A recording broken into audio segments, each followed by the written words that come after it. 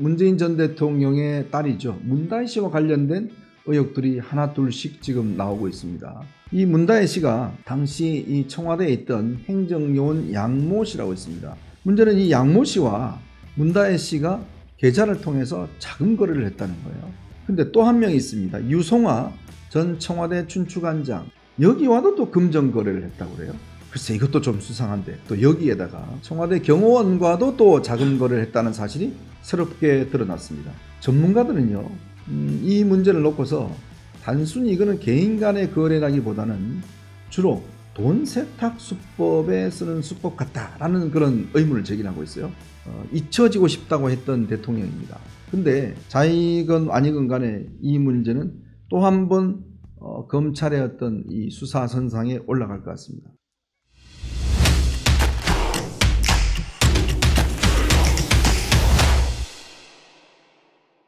네, 이현종의 뉴스쇼 5월 23일 목요일 순서 진행하겠습니다. 요즘 문재인 전 대통령이 아, 퇴임한 지가 한 2년이 넘어가는데요. 최근에 회고록을 냈습니다. 근데 이 회고록을 둘러싸고 아주 논쟁이 치열하게 벌어지고 있습니다. 물론 남북 관계, 어, 뭐 회담 등 뒷이야기 등에 대한 여러 가지 논란도 있겠지만 특히 이제 어, 이 문재인 전 대통령이 어, 부인 김정숙 여사의 어떤 인도 방문을 영부인의 첫 단독 외교다. 뭐 이렇게 표현하면서 꽤 문제가 되고 있고 논란이 불러지고 있습니다. 근데요. 문제는 뭐 김정숙 여사와 관련된 여러 가지 논란들은 기존에도 있어 왔습니다만은 최근에는 이 문다혜 씨, 즉 문재인 전 대통령의 딸이죠. 문다혜 씨와 관련된 의혹들이 하나 둘씩 지금 나오고 있습니다. 오늘은 이 부분에 대해서 여러분들에게 좀 집중적으로 이야기를 좀 드릴까 합니다. 자, 문재인 전 대통령은 어, 아들과 딸 두 명의 자녀를 두고 있습니다. 어, 문다혜 씨 같은 경우는 어, 이분이 좀 특이합니다. 아, 원래 정의당 당원이었어요.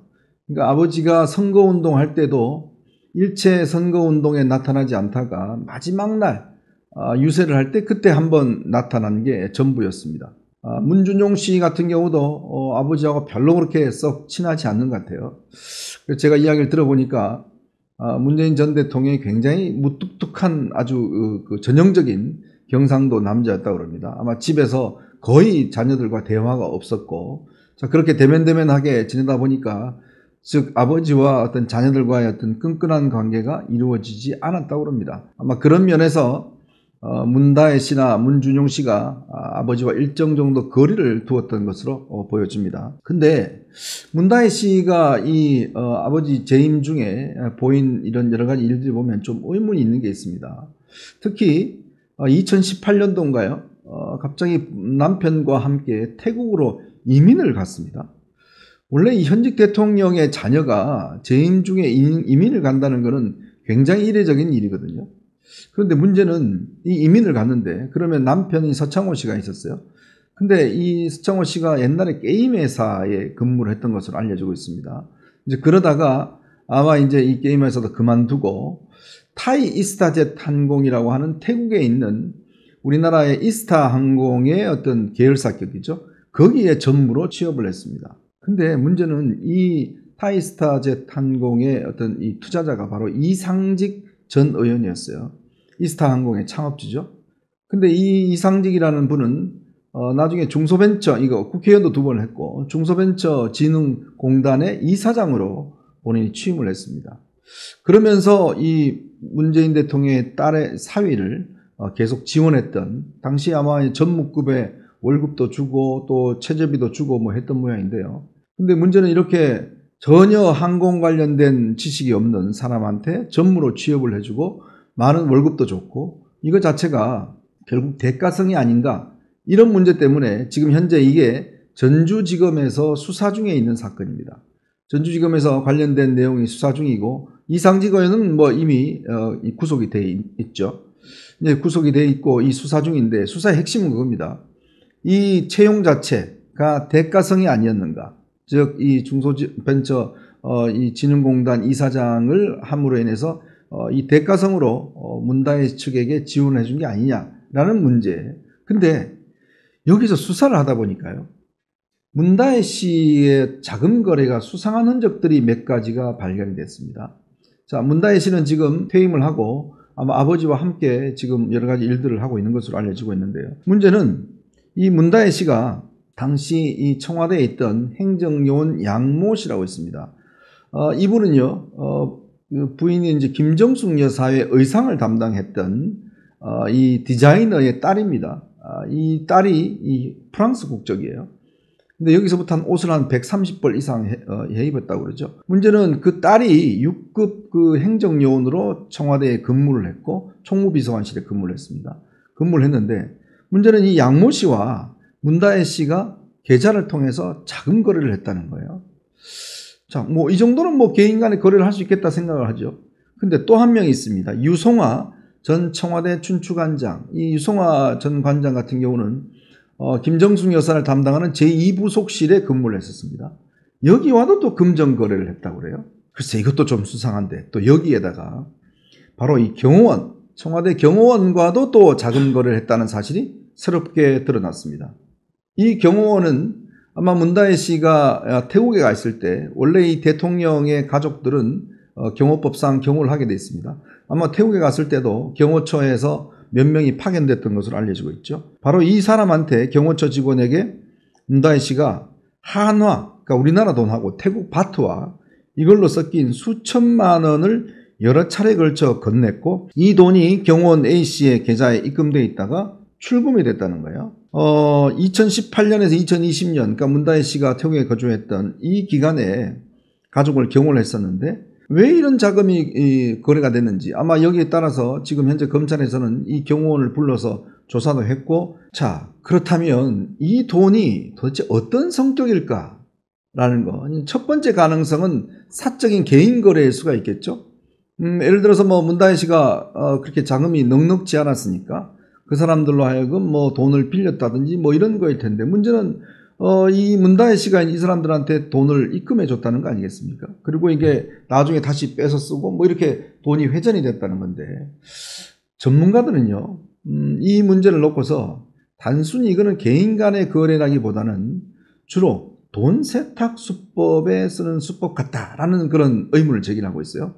왜냐하면 뭐 저하고 어, 돈 누군가 돈거래를 하게 되면 계좌를 해서 거래를 하잖아요.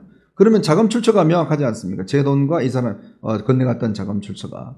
근데 지금 문다혜 씨가 있고 거기에 지금 현재 양모 씨라고 하는 이제 청와대 어, 행정요원, 그다음에 유송아 씨, 경호원 이런 사람들이 있는데 이 돈이 그러면 어떤 돈일까?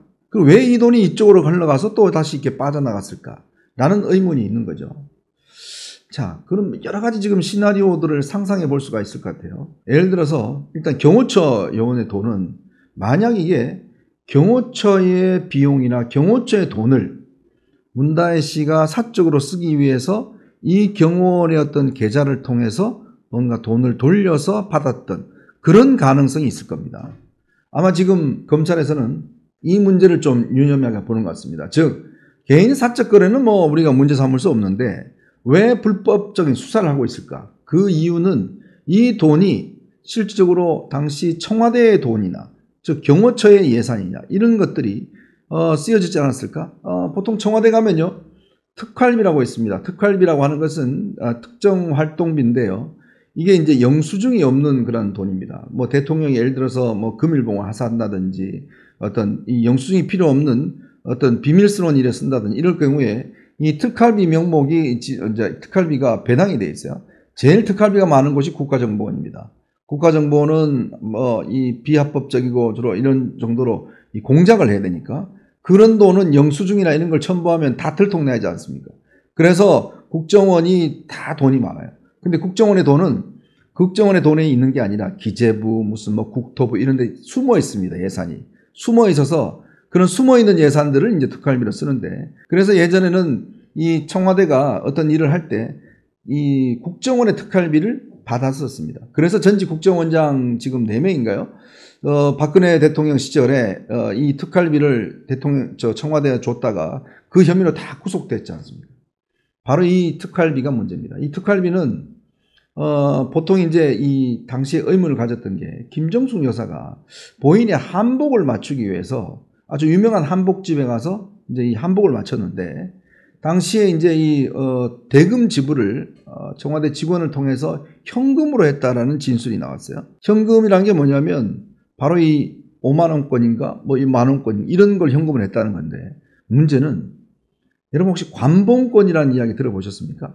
요즘 은행에 가시면 뭐 저는 그런 큰 돈을 써본 적 없습니다만 만약 5만 원권을 천만 원어치 했다. 그러면 이렇게 돈이 새 돈은요 딱 이게 묶여져 있어서 이렇게 벨, 그, 이 띠지가 있습니다.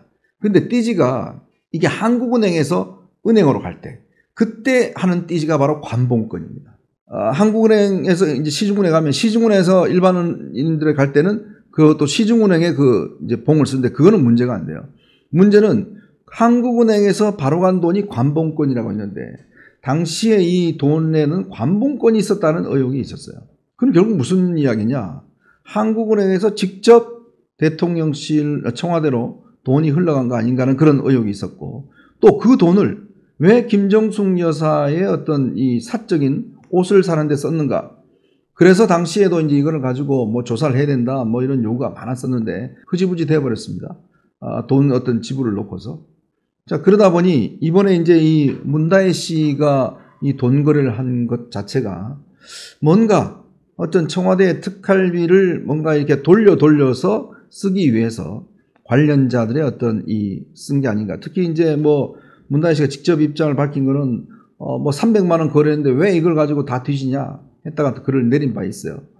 어 있지만 과연 이렇게 대통령의 딸이 청와대 직원들하고 이렇게 사적인 돈거래를 한다? 이것 자체도 부적절할 뿐더러 만약에 이 돈이 어떤 여러 가지 어떤 부당한 방법으로 돈 세탁을 거쳐서 쓰기 위한 돈인가 아닌지 이거 자체가 참 의문인데 사실 문다혜 씨는요 음 이제 이 대통령 청와대에 있을 때 어, 아마 태국에 돌아와서 청와대에 살았던 것으로 알려지고 있습니다. 어, 본인이 아마 어, 이혼을 하고 어, 지금 청와대에 살았던데 문제는 그 당시에도 집 거래와 관련된 여러 가지 의문이 있었어요. 당시에 뭐 당산동에 있는 집을 팔아서 1억 8천만 원인가요? 뭐 이득을 얻었다 뭐 등등 이런 논란이 있었는데 아마 이게 음 남편과의 이혼 과정에서 여러 가지 금전적인 문제가 좀 있었고 실제로 이제 청와대 그 자녀와 함께 어, 거주를 했었는데 그래서 이것도 논란이 되고 있습니다. 왜냐 대통령이 청와대에 거주하는 거는 대통령이기 때문에 거주하는 건데 그러면 그 자녀가 거주할 경우에 거기에 따르는 생활비가 있지 않습니까? 그럼 이거를 왜 국고에서 주느냐? 이게 논란이 되는 거죠. 그러면 본인이 내야 되지 않느냐? 뭐 이런 논란이 왜냐? 어린 자녀는 괜찮습니다만은 이미 출가한 자녀 그리고 이혼한 자녀 같은 경우 왜 청와대에 같이 사냐? 이제 이 문제가 있는 것이고요. 그리고 퇴임 이후에 문다혜 씨가 아, 버지였던 역할을 그 대신하면서 뭐 여러 가지 엽서를 만들어 판다든지 달력을 만들어 판다든지 뭐 이런 걸로 해서 당시에 꽤 많은 수익을 올렸습니다. 아마 1억 원 이상의 수익을 올렸는데 이걸 뭐 어, 반려견이나 그 다음에 어떤 이 그걸 위해서 쓰겠다고 이야기를 했는데 그 이후에 어떻게 기부했는지는 드러나지 않았어요. 그때 아마 수억 원대의 어떤 기부가 있었던 걸로 보여지는데 그 돈이 어떻게 쓰여졌는지 이것 자체도 상당히 지금 현재 의문이고 어, 지금 문다에서는 아버지와 관련된 일을 하고 있으면서 예전에 김정숙 여사는 뭐 요가와 관련된 일을 하고 있다. 뭐 이렇게 해서 뭐 사무실도 마련해 놓고 있다. 이렇게 이야기를 어, 한바 있습니다. 자, 이 특히 문다혜 씨가 이제 정의당 활동을 했다는 것은 뭐 이미 이제 예전에 알려져 있고 또 어, 부산에 있는 고등학교를 나와서 어, 일본에 유학을 갔습니다. 근데 일본에 유학을 갔는데 이 학교가 고구시칸 대학이라고 하는데요. 이 대학이 우리나라에 이제 을미사변을 일으킨 일본 극우 집단이 설립한 학교 이렇게 알려지고 있습니다. 이게 왜 당시에 문제가 됐냐면 어, 문재인 전 대통령이 이제 반일 운동을 많이 했잖아요. 반일적인 뭘 했는데. 근데 정작 딸은 보니까 일본 극우파가 설립한 학교에 유학을 냈더라. 뭐 이런 이제 논란이 있다 보니까 이것 자체도 이제 당시에 문제가 많이 됐었죠. 자, 지금 그래서 이제 현재 이 문제는 이제 이 여러 갈래 수사가 진행 중입니다. 즉, 남편의 이스타 항공, 전 남편이죠. 이스타 항공 취업, 이것이 특혜성이 있었던 게 아닌가는 한 가지의 가다. 두 번째, 왜 문다혜 씨는 청와대 직원, 경호원 그리고 등등과 왜 돈 거래를 했을까? 무슨 이유일까? 그리고 이 돈의 출처는 어디서부터 나왔을까? 라는 의문들.